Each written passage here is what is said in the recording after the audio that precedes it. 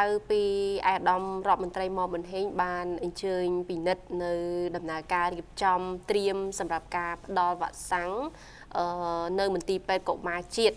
ក្រៅពីនោះគឺអាដាមក៏បានអញ្ជើញចូលរួមនៅក្នុងពិធីប្រគល់និងទទួលនៅសម្ភារៈបណ្ដុះបណ្ដាលបច្ចេកទេសក៏ដូចជា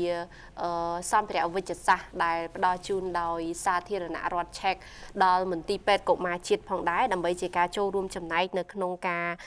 អភិវឌ្ឍធនធានមនុស្សឲ្យកាន់តែល្អប្រសើរឡើងថែមទៀតពិធីប្រគល់និងទទួលនេះគឺធ្វើឡើងនៅព្រឹកថ្ងៃទី9ខែកុម្ភៈ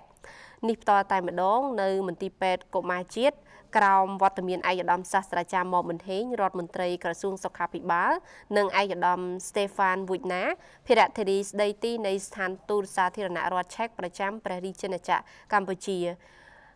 នាយកមន្ទីរពេទ្យកុមារជាតិលោកសាស្ត្រាចារ្យញឹបអង្គាបោះបានឲ្យដឹងថាឧបករណ៍គំរូសម្រាប់ការបណ្ដុះបណ្ដាលផ្នែកថែទាំសុខភាពទារកទៅនឹងកើតរួមទាំងឧបករណ៍វិទ្យាសាស្ត្រផ្សេងផ្សេងទៀតសរុបជាង90មុខដែលមានតម្លៃជាង20ម៉ឺនដុល្លារអាមេរិកត្រូវបានរៀបចំសម្រាប់មន្ទីរពេទ្យប្រើប្រាស់ដែលជាផ្នែកមួយ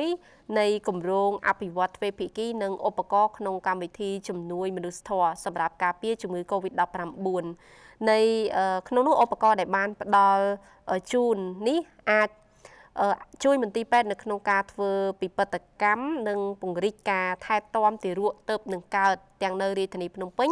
និងតាមបណ្ដាខេត្តនានាដោយសារការពង្រឹងសមត្ថភាពរបស់បុគ្គលិកពេទ្យសំខាន់សំខាន់នៅមន្ទីរពេទ្យនិងការផ្លាស់ប្ដូរបទពិសោធន៍ការអនុវត្តល្អៗពីក្រុមគ្រូពេទ្យឯកទេសជនជាតិឆែក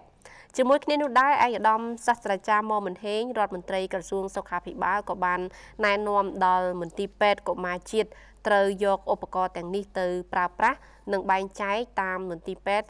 បណ្ដាខេត្តផ្សេងផ្សេងទៀតដើម្បីយកទៅជួយសង្គ្រោះដល់កុមារសម្ដៅកាត់បន្ថយនៅ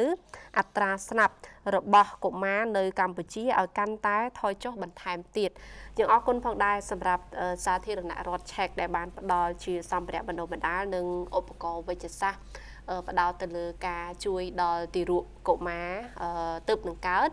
ដែលនេះសបញ្ជាក់ឲ្យឃើញពីការចូលរួមមួយផ្នែកទៀតនៅក្នុងការអភិវឌ្ឍនៅវិស័យសុខាភិបាលរបស់កម្ពុជា ដើម្បីឲ្យកម្ពុជាអាចដើរទាន់ជាមួយនឹងបច្ចេកវិទ្យាហើយនឹងផ្ដល់សេវាថែទាំសុខភាពជូនទៅដល់ប្រជាជនយើងប្រកបដោយប្រសិទ្ធភាពបន្ថែមទៀត។